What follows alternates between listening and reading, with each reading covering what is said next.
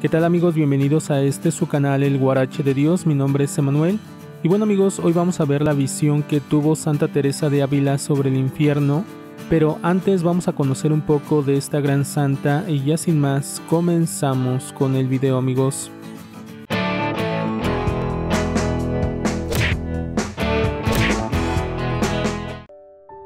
¿Y quién fue Santa Teresa de Ávila?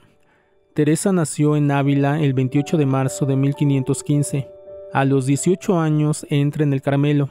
A los 45 años, para responder a las gracias extraordinarias del Señor, emprende una nueva vida cuya divisa será o sufrir o morir.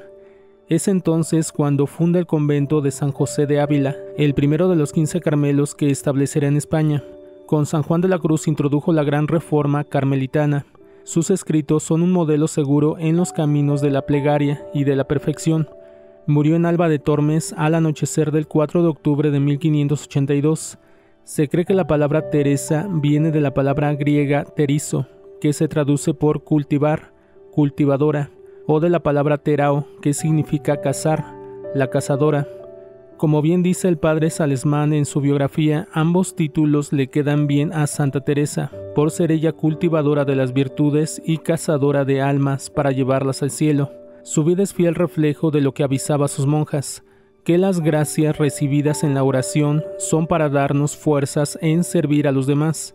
Aunque Teresa es conocida por lo elevado de las gracias místicas y visiones que recibe, su oración no la aparta del mundo, sino que hace que se entregue con especial fuerza y respaldo a las obras que le son encomendadas, sufriendo en viajes, discusiones, continuas trabas, burlas y desplantes de sus contemporáneos. Fue beatificada por Pablo V en 1614, canonizada por Gregorio XV en 1622 y nombrada doctora de la Iglesia Universal por Pablo VI en 1970, la primera mujer de las tres actuales doctoras de la Iglesia, las otras son Santa Teresa de Siena y otra carmelita descalza, Santa Teresita del Niño Jesús. Y bueno amigos, ya que conocimos un poco de Santa Teresa de Ávila, ahora vamos con su relato sobre el infierno y dice así. Después de mucho tiempo que el Señor me había hecho ya muchas de las mercedes que he dicho, y otras grandes, estando un día en oración me hallé en un punto toda, sin saber cómo, que me parecía estar metida en el infierno Entendí que quería el Señor que viese el lugar que los demonios allá me tenían aparejado, y yo merecido por mis pecados. Ello fue un brevísimo espacio, mas aunque yo viviese muchos años, me parece imposible olvidarlo. La entrada me parecía un callejón largo y estrecho, como un horno muy bajo, oscuro y angosto. El suelo, un lodo de suciedad y de un olor a alcantarilla, en la que había una gran cantidad de reptiles repugnantes, en la pared del fondo había una cavidad como de un armario pequeño, encastrado en el muro, donde me sentí encerrada en un espacio muy estrecho, pero todo esto era un espectáculo agradable en comparación con lo que tuve que sufrir.